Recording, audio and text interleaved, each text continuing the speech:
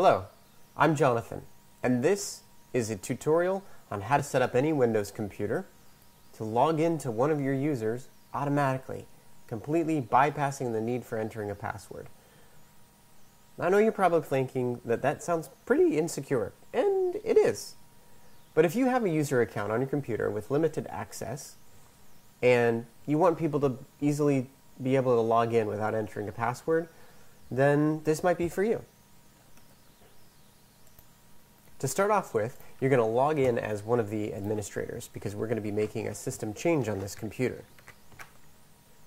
Once you're logged in, depending on which Windows version you have, you may or may not start in your Start menu. If you don't, you may need to open your Start menu. Once you're there, go ahead and type netpl wiz and enter. This is going to open up the utility you need to change your username and password settings.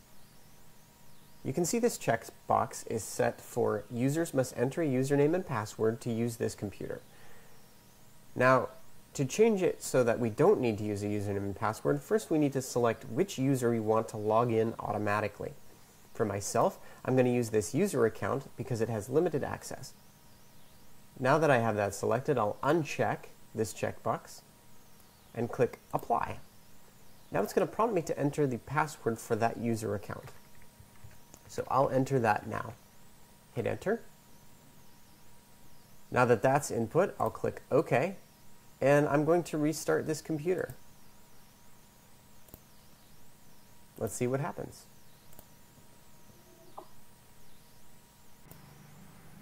Perfect. We've logged straight into the start menu of the user account. It looks like it worked. Well, I hope you're able to put this information to use. But if this isn't for you, thanks for watching anyways, and have a great day.